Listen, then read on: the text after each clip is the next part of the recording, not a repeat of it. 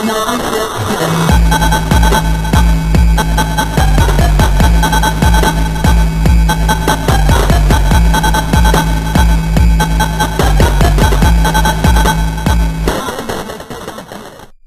going to steal your milkshake that I got next to you. I hate your milkshake. No.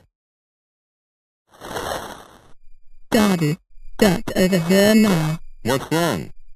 Daisy. Daddy, Rosie spilled my milkshake that you made for me. Can you please drown her? Oh, oh, oh, oh, oh, oh, oh, oh, oh, oh, oh. Rosie. How dare you steal Daisy's milkshake that I made for her? That's it. You are grounded till I make her a new milkshake. Now go to your room.